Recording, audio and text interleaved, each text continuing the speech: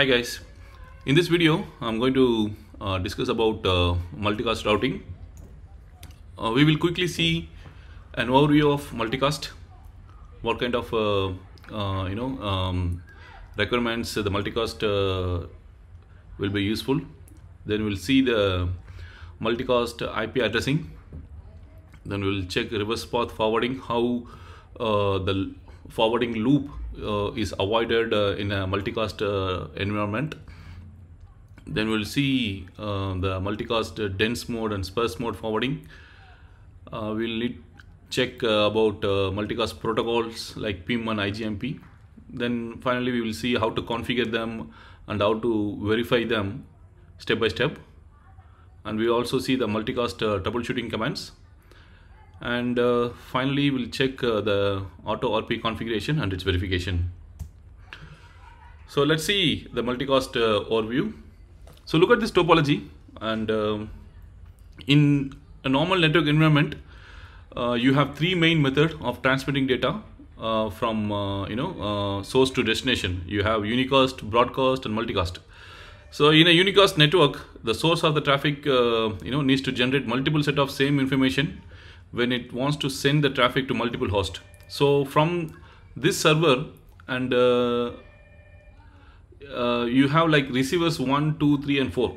So all of them uh, we have to send the traffic means the server has to send the traffic to the router, the directly connected router and from that router you will see it has to basically generate four uh, copies of the same information uh, to each of the receiver. So it is consuming more uh, bandwidth on the links when you want to send you know the same information uh, you know multiple times. So another uh, type is the broadcast transmission. So we can easily uh, mitigate the bandwidth and resource problems in the network encountered with the unicast transmission by using a broadcast uh, transmission instead. Uh, in this instance the source host sends a single stream of data traffic into the network addressed to all possible hosts so here the drawback is uh, let's say only the receiver 1 2 3 uh, wants the uh, traffic actually. But the traffic will be uh, ending up uh, to other host in the network like uh, non receivers like if they don't want the traffic also still it will receive. So unnecessarily we will you know send traffic and they will drop the packet. So using the multicast transmission we'll combine the best aspects of both unicast and broadcast. Uh, we get the network resource savings of broadcast uh, model while also gaining the end station uh, resources saving of the unicast model. So in multicast what happens uh, these receivers whoever wants the traffic will send a request pointing to a particular multicast uh, group address and uh, whoever sending that request only those receivers will receive the traffic so now let's see the the addressing scheme in multicast so uh, the end station wishing to receive a multicast transmission sends a request to the network that forwards back matching a specific destination IP address to it. So this uh, multicast group address, you can say it's a similar to a, a, satellite TV or a radio channel and can be requested by multiple hosts or users. The source station generates the data packet and uh, places this specific IP address called a multicast group address in the destination field of the IP header. So we have this uh, multicast range starting from uh, 224.000 through 239.255.255.255. So most of us would have seen uh, multicast uh, IP address this starting from 224.000 slash 24. So this group address in this range are often referred to as a well-known address because many applications and routing protocols make use of its capabilities. Uh, let's see some of the you know more commonly uh, used uh, address in this space. Like 224.0.0.1 represents all IP hosts on the subnet. Each router and PC connected to the physical media receives the datagram and it will uh, process the packet it received in this particular destination.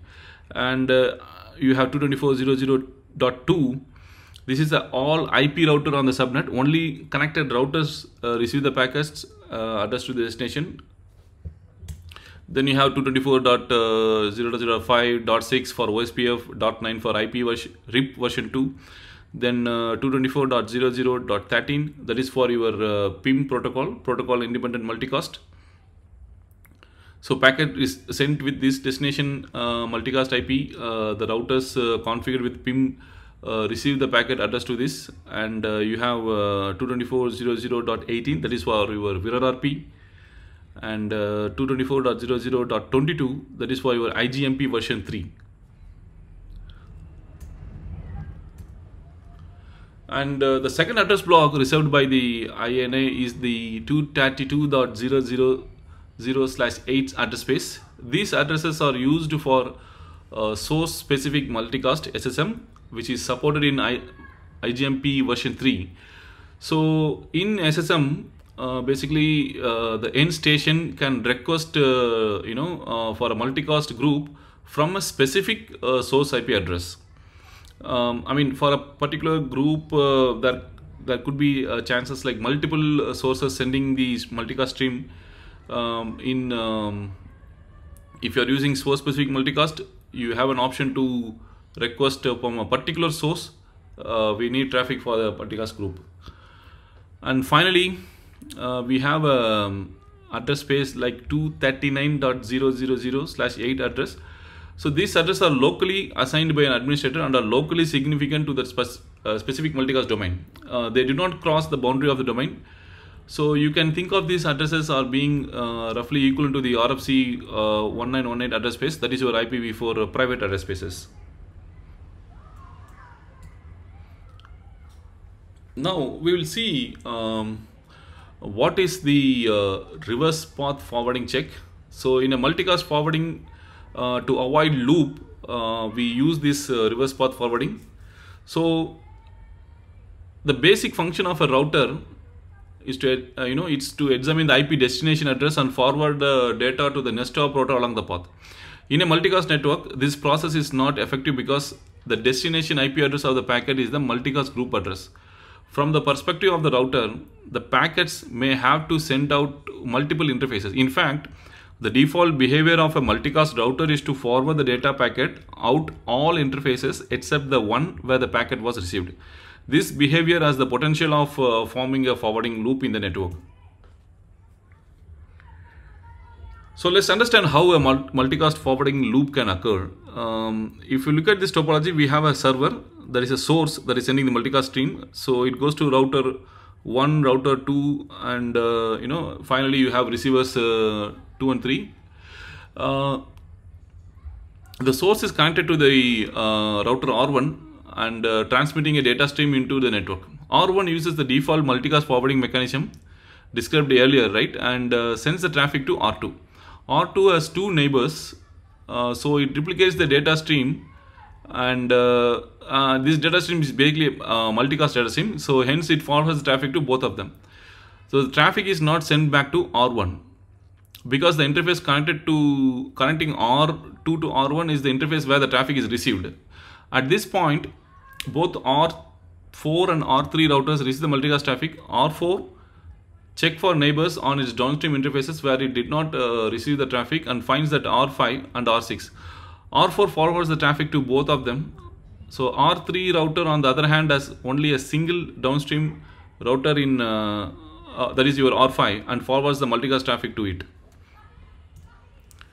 We now reach a critical junction in the propagation of data stream. The router uh, R5 receives two separate sets of multicast traffic, one from R3 and another from R4. Logically, we know that these data streams are in fact the same, but the router only sees the traffic as being multicast in nature. It receives one stream from R4 and uh, sends it to R3. Now R4 receives another stream from R3 and forward it downstream to R4. So at this point we have formed a forwarding loop between R2, 3, 4 and 5. Each router continues to forward the same data stream endlessly around the network. So this is where uh, the multicast reverse path forwarding uh, comes in place. So the method by which we break this forwarding loop is called uh, reverse path forwarding check. While each multicast packet contains the same common destination group address, it also contains a unique source IP address that is a server IP address. This address is the source of the data stream and we use this information to determine whether the received multicast packet should be forwarded downstream or not. As the router receives the traffic, it examines the source IP address in IP header. A lookup is then performed in the special RPF uh, routing table for that purpose. The router is performing a simple check. If I were to reverse the path of this packet and send it back to the source, would I send it out the interface I received the packet on? Basically, it checks whether the interface where I received the, uh, the source IP is the best path to forward it back. When the result of this query affirms that the receiving interface is the best path back to the source, the router is assured that a forwarding loop is not forming and forwards the data stream out to all its downstream interfaces. Should the RPF check returns a negative result, the router breaks any potential forwarding loops and drops all multicast packets it received on that interface from the specific source. RPF uses the routing table, the normal global routing table for the check so now let's see how reverse path forwarding, you know, uh, avoiding the loop. This is the same topology, same routers. So uh, we have uh, same multicast source which begins to send out multicast traffic to R1. As the traffic is received in R1, R1 checks the source IP address of the packet against the RPF table. It finds that the receiving interface is in fact uh, the best path back to the source as it is directly connected to the router. R1 then forwards the multicast traffic uh, downstream to R2. Again, R2 receives the packet, it performs RPF check. The best path back to the source is through R1. So the traffic is not forming a loop. R2 forwards the traffic downstream to both R3 and R4. The RPF check on R3 and uh, R4 finds that R2 is the best path back to the multicast source. So they also forward the multicast uh, data downstream. It was at this point in our earlier example that the forwarding loop was forming. R5 receives two copies of same uh, multicast data, one from R3 and other from R4.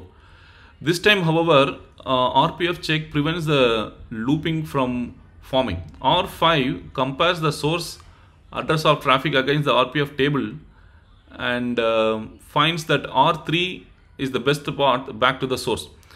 Uh, from uh, R5, let's say you have you are running some dynamic protocol and uh, based on the metrics R5 uh, selects uh, through R3, we reach the source. Okay, let's take it. I mean, take it that way. So R5 begins to drop all multicast traffic from the source as it receives on uh, the interface that is connected to R4 and informs R4 to stop sending the particular traffic data stream. Since R3 interface passes the RPF check, R, R5 forwards the traffic downstream to R4.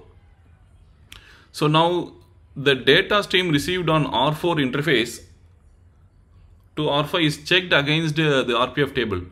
So uh, we have already determined that the best path from R4 to the source is to R2. So the packets sent by the R5 are dropped from the network. R4 also instructs R5 to stop forwarding the multicast uh, data stream along that link. So in the end, no multicast traffic is sent along the link connecting uh, R4 to R5.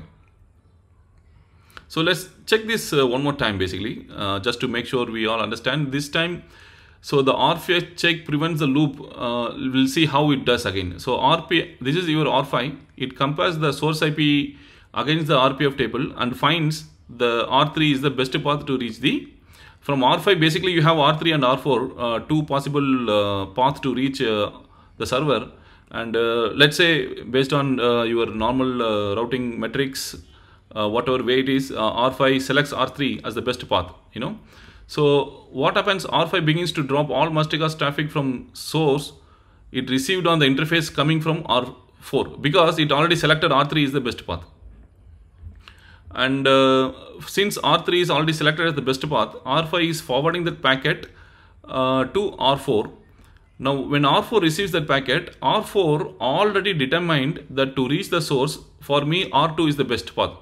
So the packet stream that is coming from R5 to R4 by default will be discarded and R4 informs R5 that not to send any further traffic. So, um, so we basically block this uh, link for that particular stream uh, you know gets forwarded and we in the process we stop the forwarding loop